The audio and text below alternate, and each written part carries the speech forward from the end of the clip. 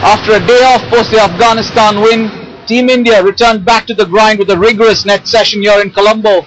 And the focus in the team clearly seemed revolving around the combination.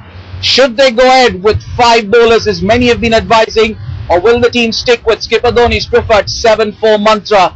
At the nets this evening we saw Harbhajan Singh and Ashok Dinda get a lengthy bowl, signs that they could come into the scheme of things come the big game on Sunday against defending champions England, especially after the four bowler combination couldn't do much against a low side like Afghanistan.